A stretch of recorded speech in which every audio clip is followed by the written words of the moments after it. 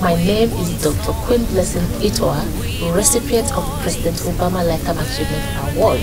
I'm here to wish Nigeria a very happy Independence Day celebration.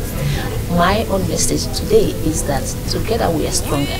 People in the diaspora, we are working with people at home because we are the blessings of Africa. We are the blessings of Nigeria.